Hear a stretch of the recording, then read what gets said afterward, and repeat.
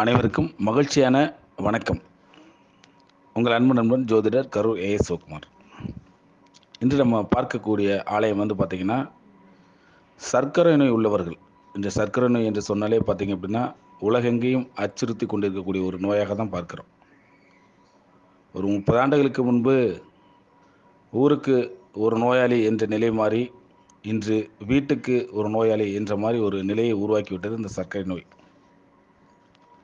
இந்த சர்க்கரை நோய் குணமாக சர்க்கரை நோய் தாக்கத்திலிருந்து விடுபடுவதற்கு செல்ல வேண்டிய ஒரு அற்புதமான ஸ்தலத்தை பற்றி தான் இன்றைக்கி நம்ம பார்க்க இருக்கிறோம். இந்த ஸ்தலத்திலே சென்று என்ன மாதிரி வழிபாடுகள் செய்யணும் அங்கே என்ன மாதிரி விஷயங்களை செய்யணும் அப்படின்றத முழுமையாக பார்க்குறோம். அதன் பிறகு நீங்கள் தினசரி சொல்ல வேண்டிய பதிகம் அந்த தேவார பதிகங்கள் இருக்கு இல்லையா? அந்த தேவார பதிகங்களில் என்ன பதிகங்கள் நீங்கள் தினசரி செ சொல்லிட்டு வரணும் அப்படின்ற விஷயத்தையும் நம்ம பார்க்குறோம். முதல்ல இந்த கோயிலை பற்றி முழுமையாக பார்த்துடலாம். அதன் பிறகு அந்த கோயிலில் செய்ய வேண்டிய பரிகாரங்களையும் பாட வேண்டிய அந்த பதிகங்களையும் நம்ம தொடர்ந்து பார்க்கலாம். நம்முடைய சேனலை அனைவரும் சப்ஸ்கிரைப் செய்து கொள்ளுங்கள். முடிந்தளவு அனைவருக்கும் இதை பகிர்ந்து அழியுங்கள். மற்றவர்களும் இதனால் பயன்பெறட்டும். கோயிலை பார்த்துடலாம். வெண்ணி என்ற ஊரிலே இருக்கக்கூடிய அற்புதமான ஒரு ஸ்தலம்தான். திருவாரூர் மாவட்டம் நீடாமங்கலம் வட்டத்திலே இருக்கக்கூடிய வெண்ணி என்ற ஊரில் இருக்கக்கூடிய ஸ்ரீ சவுந்தரநாகி உடனுடைய ஸ்ரீ வெண்ணி கரும்பேஸ்வரர் திருக்கோயில் தான் அந்த அற்புதமான ஒரு ஸ்தலம். வெண்ணி என்ற ஊரிலே இருக்கின்றது நீடாமங்கலம் வட்டம் வட்டம் திருவாரூர் மாவட்டத்தில் இருக்கு இந்த கோவில்.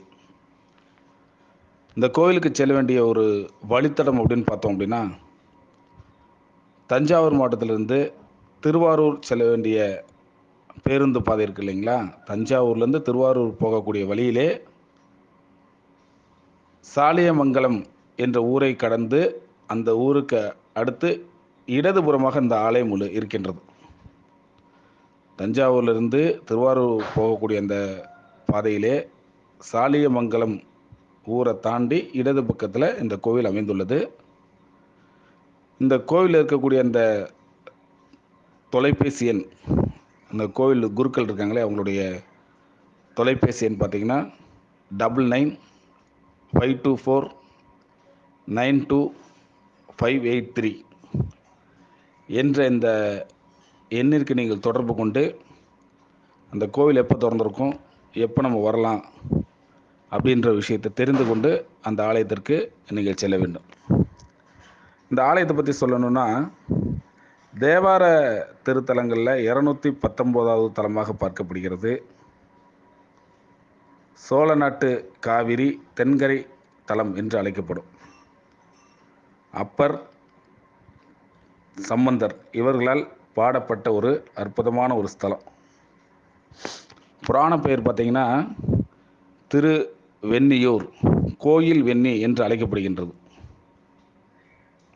இங்கே இருக்கக்கூடிய தீர்த்தங்கள் சூரிய சந்திர தீர்த்தங்களாக இருக்கி இருக்கின்றன. இங்கே இருக்கக்கூடிய தல விருச்சம் வந்து பார்த்திங்கன்னா நந்தியாவர்த்தம் இந்த கோயிலிலே நவராத்திரியில் நவராத்திரியில் வரக்கூடிய ஒன்பது நாட்களுமே திருவிழா கொண்டாடப்படுகிறது.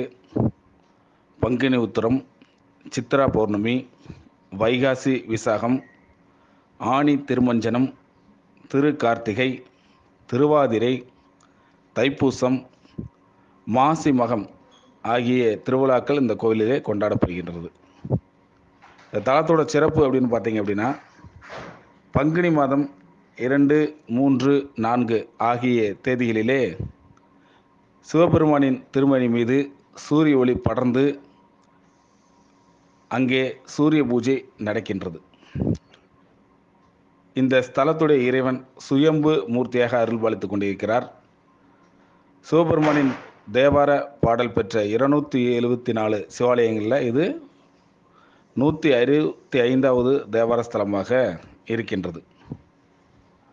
இந்த கோவில் வந்து பார்த்திங்கன்னா உத்தேசமாக காலை எட்டு மணி முதல் பன்னிரெண்டு மணி வரையும் மாலை ஐந்து மணி முதல் இரவு எட்டு மணி வரைக்கும் திறந்திருக்கும். கிழக்கு நோக்கிய கோயில் எதிர்புறம் சூரிய தீர்த்தம் மூன்று நிலை ராஜ கோயிலின் உள்ள நந்தி ப- பலிபீடம் இருக்கின்றது. கிழக்கு நோக்கிய கோவில் அந்த கோவில் பார்த்திங்கன்னா கிழக்கு நோக்கிய கோவில் எதிர்புறம் வந்து சூரிய தீர்த்தம் அமைந்துள்ளது. மூன்று நிலையில் ராஜகோபுரம் அமைந்துள்ளது. உள்ளே நந்தி பலிபீடம் போன்றவை இருக்கின்றன. பிரகாரத்திலே விநாயகர் முருகன் கஜலட்சுமி பைரவர் நவக்கிரக சன்னதிகள் இருக்கின்றன. மிகவும் பழமையான இந்த ஸ்தலத்து இறைவனை நாலு யுகங்களிலும் வழிபட்டதாக வழிபாடு செய்யப்பட்டுள்ளதாக தல வரலாறு தெரிவிக்கின்றது. இறைவனின் திருமேனி அதாவது வானத்தில் கரும்பு கட்டுகளாக கட்டப்பட்டிருப்பது போன்ற காட்சியுடன் அருள்பாலிக்கின்றார். சங்க காலத்திலே இவ்வூரில் வெண்ணி குத்தியார் என்ற பெரும் புலவர் அவதரித்தார். இவர் பாடிய அந்த புறநானூற்று பாடல் கரிகார சோழனின் வெண்ணி போரை கூறுகின்றது. கரிகார சோழன் வந்து தன்னுடைய பதினெட்டாவது வயதிலே இங்குள்ள பிடாரி அம்மனை வழிபட்டு சேர பாண்டிய மற்றும் குறுநில மன்னர்களை எதிர்த்து போர் செய்து வெற்றி பெற்றுள்ளார். கரிகார சோழன் பெற்ற இந்த வெற்றியே மாபெரும் வெற்றியாக இங்கே இருக்கக்கூடிய கல்வெட்டுகள் கூறுகின்றன. இங்கே இருக்கக்கூடிய அந்த பிடாரி அம்மனை வழிபடுவர்களுக்கு எதிரி பயம் இருக்காது என்பது ஐதீகம். தான் பெற்ற வெற்றியை கொண்டாடும் விதத்தில் கரிகார சோழனும் முசுகுந்த சக்கரவர்த்தியும் இக்கோயிலுக்கு திருப்பணி செய்துள்ளார்கள். முன்னொரு காலத்திலே இந்த ஸ்தலம் முழுவதுமே கரும்பு காடுகளால் சூழப்பட்டிருந்தது. ஒரு முறை இரண்டு முனிவர்கள் தலையாத்திரை மேற்கொண்ட போது இந்த ஸ்தலத்திற்கு வந்தார்கள். இந்த கரும்பு காட்டிற்குள் இறைவனின் திருமணியை கண்டு தொழுதார்கள். அவர்களில் ஒருவர் இத்தலத்தின் தலவெரிச்சம் கரும்பு என்றும் மற்றொருவர் வெண் வெண்ணி என்று அழைக்கப்படும் வந்தியாவர்த்தம் என்று ரெண்டு பேரும் வாதிட்டனர். அப்பொழுது அங்கே இறைவன் அசரி அசரீராக தோன்றி எனது பெயரில் கரும்பும் தலவிருச்சமாக வெண்ணியும் இருக்கட்டும் என்று அருள் புரிந்தார். அன்று முதல் இறைவன் கரும்பேஸ்வரர் என்று அழைக்கப்படுகின்றார். இதுவே வடமொழியில் பார்த்தோம் அப்படின்னா ரசபுரீஸ்வரர் என்று பெயரானது. தல விருத்த விருச்சத்தின் பெயரால் இத்தலம் வெண்ணியூர் என்று அழைக்கப்பட்டது. இதுவே காலப்போக்கில் மருவி கோயில் வெண்ணி என்று அழைக்கப்படுகின்றது. இனி இந்த கோயிலிலே செய்யப்படக்கூடிய அந்த அற்புதமான வழிபாடுகளையும் சொல்ல வேண்டிய பதிகத்தையும் பார்த்துவிடலாம் முத்தினை பவளத்தை முளைத்த எம் தொத்தினை சுடரை சுடர்போல் ஒளி பித்தனை கொழு நஞ்சினை வானவர் நெத்தினை நேரு நற்கண்ட வெண்ணியே. முத்தினை பவளத்தை முளைத்த எம் தொத்தினை சுடரை சுடர்போல் ஒளி பித்தனை கொழு நஞ்சினை வானவர் நெத்தினை நேரு நற்கண்ட வெண்ணியே. காற்றினை கனலை கதிர் மாமணி நீற்றினை நினைப்பார் வினை நீக்கிடும் கூற்றினை யுதைத்திட்ட குணமுடை வீற்றினை நெரு நற்கண்ட வெண்ணியே.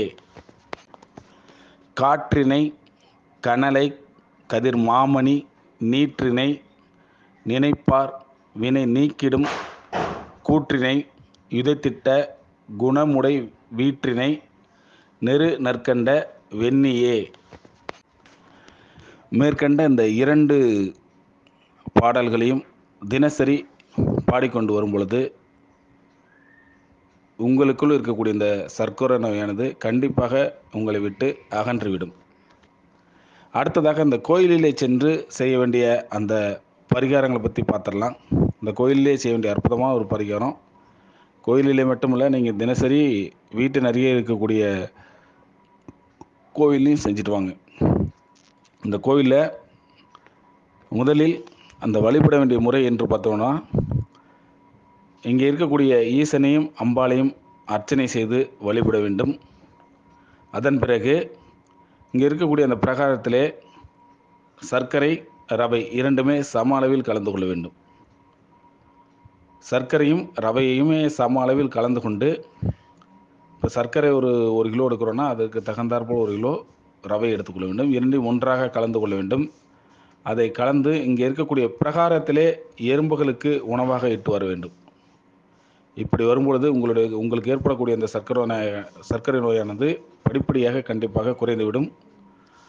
இதை நீங்கள் கோவிலையும் செய்யலாம். அதே போல் தினசரி நீங்கள் கொஞ்சமாக கலந்துட்டு வீட்டு அருகே இருக்கக்கூடிய ஆலயங்களில் எங்கெல்லாம் எறும்புகள் இருக்கோ அந்த எறும்புகளுக்கு நீங்கள் இதை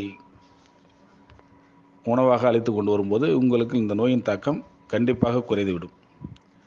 மேலும் இங்கே இருக்கக்கூடிய அந்த கருவறையிலே நெய் தீபம் நிறைய ஏற்ற சொல்லுங்கள் அந்த கருவறையில் இருக்கக்கூடிய தீபத்துக்கு நெய் நீங்கள் வாங்கி கொடுங்க. வில்வத்தால் அர்ச்சனை செய்யுங்க. இதெல்லாம் அங்கே தொடர்ந்து செய்து கொண்டு வாருங்கள். அதே போல் நீங்கள் செய்த அந்த பிரார்த்தனை உங்களுக்கு நிறைவேறியதும் நீங்கள் இந்த ஸ்தலத்தில் வந்து ஒரு பொங்கல் வைத்து வழிபாடு செய்யலாம் அந்த இறைவனுக்கு. ஒரு பொங்கல் வைத்து வழிபாடு செய்து ஒரு நன்றிக்கடனாக இந்த ஸ்தலத்துக்கு அந்த பொங்கலை ஒரு சர்க்கரை பொங்கலை வைத்து இந்த இறைவனுக்கு படைத்து மற்றவர்களுக்கு அதை விநியோகம் செய்து அப்படி வழிபட்டு வரும் பொழுது உங்களுக்குள்ளே இருக்கக்கூடிய இந்த நோயானது உங்களை விட்டு கண்டிப்பாக அகன்று ஓடிவிடும் என்பதே உண்மை. இறைவனர்களால் அனைவரின் உடல் நலமும் குணமடைந்து அனைவரும் அந்த இறைப்பெறை அடைய வேண்டும் என்று கேட்டுக்கொண்டு உங்களிடமிருந்து இந்த பதிவில் விடைபெறுகிறேன். மீண்டும் இந்த பதிவு நிறைய நபர்களுக்கு பயன்படுற மாதிரி மற்றவர்களுக்கு இதை ஷேர் பண்ணுங்கள் புதிதாக பார்க்கக்கூடிய நபர்கள் நம்ம சேனலை சப்ஸ்கிரைப் செய்து கொள்ளுங்கள். நன்றி வாழ்க வளமுடன் வாழ்க வையகம்.